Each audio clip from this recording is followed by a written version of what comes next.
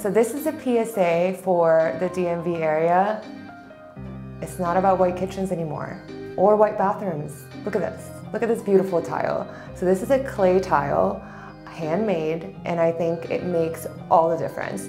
Neutrals don't have to be whites anymore. Browns are neutral, and I think this turned out beautiful.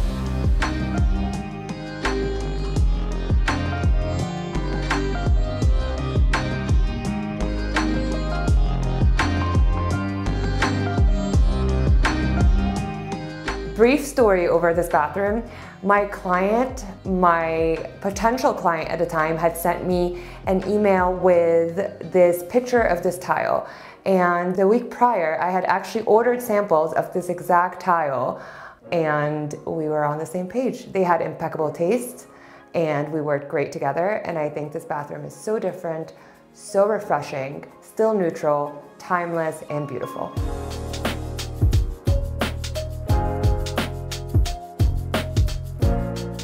This house is actually located in DC and we've done both bathrooms, the guest bathroom downstairs and the master bathroom.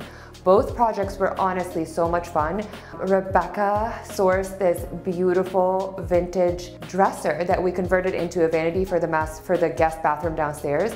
And then for the master bath, we found an equivalently beautiful new vanity. This one's walnut, so both woods. We're playing with both woods in both bathrooms, mixing one with grays and one with warmer tones, which is beiges and browns.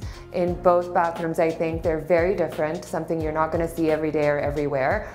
Um, they look beautiful with the house itself, given where it is and the style of this home. Um, and yeah, enjoy.